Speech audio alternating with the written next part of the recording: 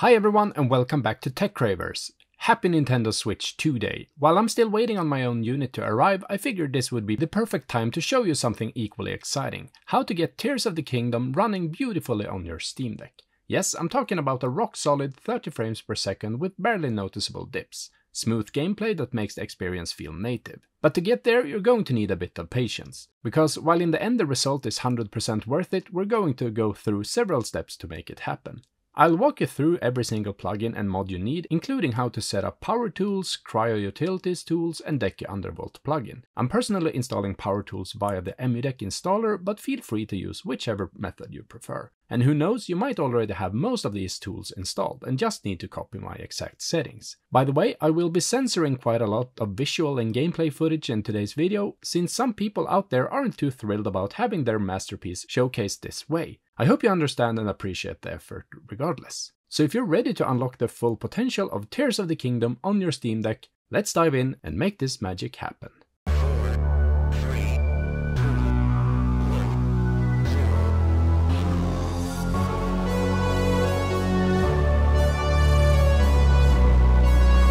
Before we get to the various tools we'll be installing in today's video, you'll obviously also need your Tears of the Kingdom ROM file. I personally dumped my own game using my modded Switch OLED.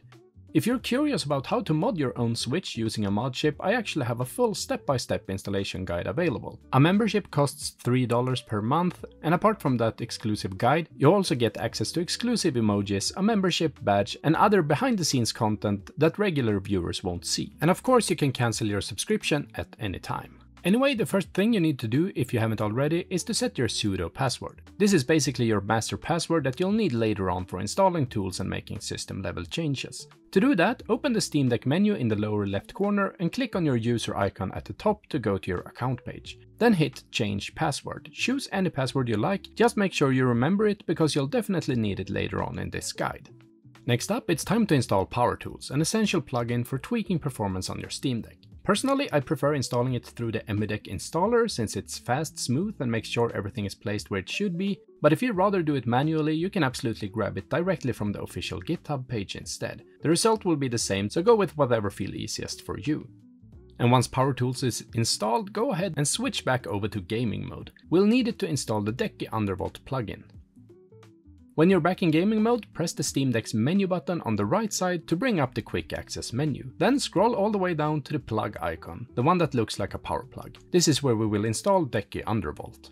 Now click the little house icon next to the gear to open the plugin store. In the search field type Decky Undervolt or just Undervolt and then click install. Once that's done and the plugin is installed, it's time to switch back to desktop mode again so we can continue setting things up there.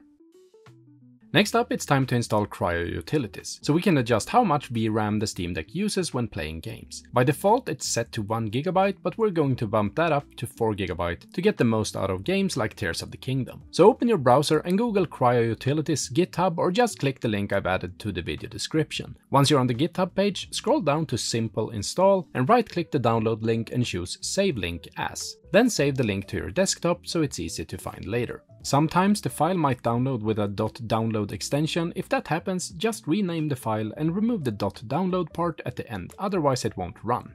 And once the file has finished downloading and you renamed it, go ahead and launch the installer. If you're prompted to use your sudo password, just type it in, the same one we set earlier in this guide. If the installation is successful, you should now see a Cryo Utilities icon on your desktop, but if you don't see it there, no worries. Just click the Steam Deck menu in the bottom left corner and search for Cryo Utilities manually and once you've found it, go ahead and launch the app. Every time you launch Cryo Utilities, it will ask you for your sudo password, so just enter it when prompted. Once you're in, you'll land on the start page. From here you can click recommended if you want Cryo Utilities to apply all the best settings for your Steam Deck. But for this guide, what we're really after is the VRAM configuration. So go ahead and tap on the VRAM tab. Here you'll see that your current VRAM is set to 1GB by default. You'll also find a quick step-by-step -step guide on how to change that to 4GB, which is what we want. To do this you'll need to completely power off your Steam Deck. Once it's off, press and hold the volume up button, then tap the power button until you hear the startup chime. Then let go of both buttons. You will now boot into the BIOS where we can change the VRAM. Navigate to Setup Utility,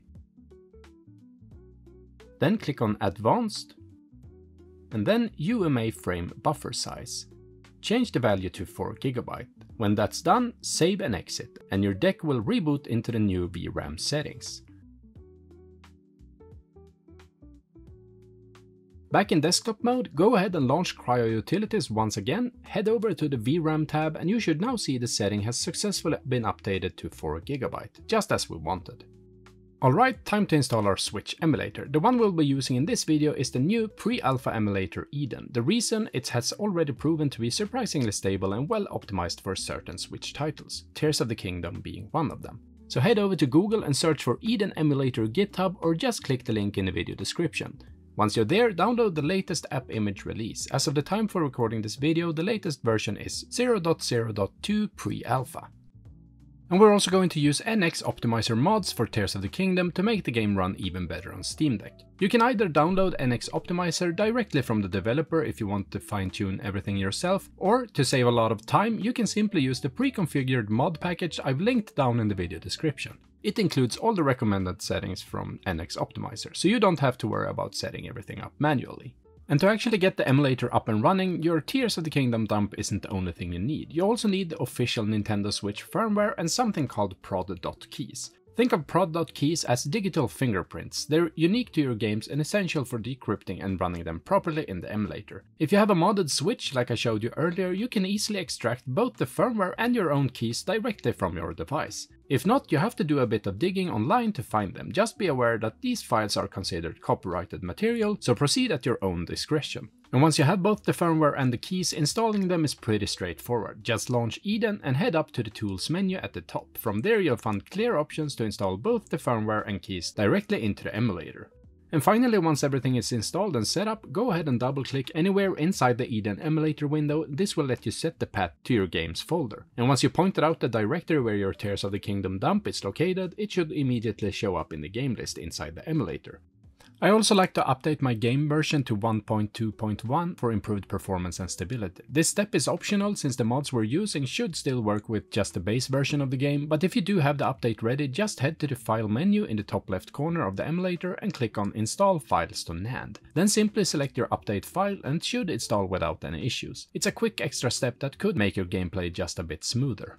Before we install the NX Optimizer settings, I'll quickly show you exactly which settings you should use for Tears of the Kingdom. Rather than going through every single option one by one, I stay quiet and simply let you follow along as I make the changes on screen. Just mirror my settings to get the best performance possible.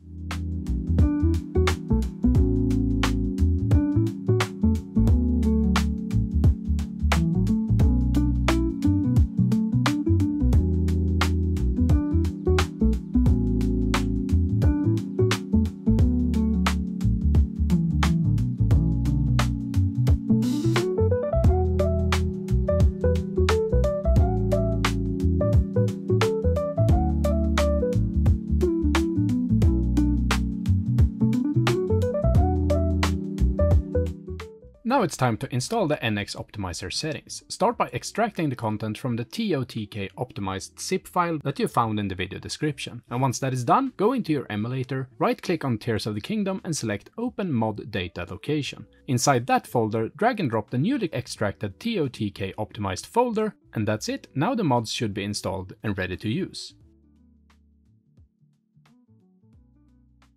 And as you can see, alongside the game update I installed earlier, the TOTK Optimizer mod now also appears in the list. This means everything is in place and correctly loaded. Your Tears of the Kingdom setup is now optimized and almost ready to go.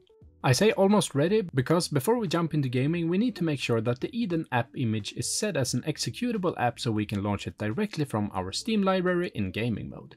And if you have used EmuDeck before to install emulators and tools, this will be super simple. You can just go ahead and skip to the next chapter in this video if you have. But if you prefer to do it manually, here's how. First, download App Image Launcher Lite using the direct link in the video description. Once downloaded, make sure to place the file in your Steam Deck's home folder, and this step is mandatory for the installation to work properly. Next, open your Steam Deck's terminal, copy the command that you also find in the video description and paste it in. Then press enter. If everything goes as it should, you should see a confirmation that App Image Launcher Lite has been successfully installed and ready to go. Now the app image you place in the home folder's applications folder should automatically be available to add to your Steam library as a non-Steam game. And if you're an EmuDeck user coming from the previous chapter in this video, you should already have this applications folder set up, so you can continue from here without any extra steps. But if you run into issues, feel free to revisit the previous chapter and follow the same process outlined there. So go ahead and drag and drop your Eden app image into the applications folder in your home directory, and you're ready for the next step. And that is to open your Steam library and then go down to the bottom left and click on Add a game, followed by Add a non-Steam game. Next, click on Browse down in the left corner and navigate to Home and Applications. There you can locate your Eden app image, select it and click Add selected programs. And that's it, the Eden emulator is now officially added to your Steam library. Now, ladies and gentlemen, we can finally return to gaming mode for the final adjustments before we jump into the game itself. Let's finish this setup strong.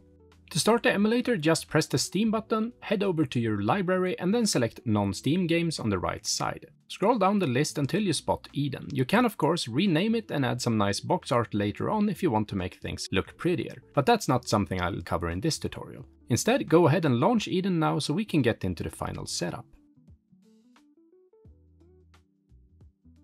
And first of all, click on Emulation in the top menu, then select Configure, and from there go to the Controls tab and make sure that your input device is set to Steam Deck Controller 0. That should get your buttons and sticks working just fine, but if you're having trouble getting gyro controls to work, leave a comment down below and I'll either link you to one of my other videos that explains it or reply directly with instructions. It really depends on how your Steam Deck has been set up previously. Now go ahead and double click your game to finally test it out. Once it's loaded you can click on view in the top menu and select full screen for a more immersive experience. And if you prefer to playing that way every time you can also set it to always launch in full screen by heading to the emulator settings. And now for this last part, I'm just going to scroll through my settings for Power Tools, Decky Undervolt and a few others, so make sure to copy them exactly to get the same results. With these tweaks you'll be able to run Tears of the Kingdom on your Steam Deck at nearly locked 30 FPS smooth and stable and fully playable from start to finish. Pause where needed, match the settings and you'll be good to go.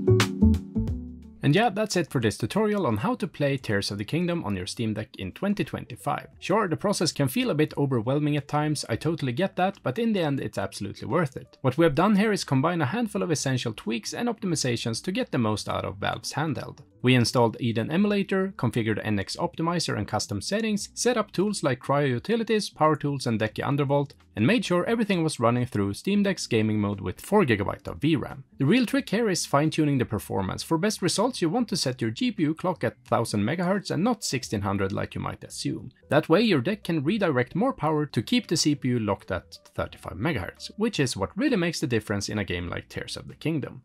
Thank you so much for watching. If this guide helped you out in any way or if you just enjoyed it, please drop a like, leave a comment if you have any questions, and consider subscribing for more Steam Deck and emulation content in the future. And of course, happy gaming!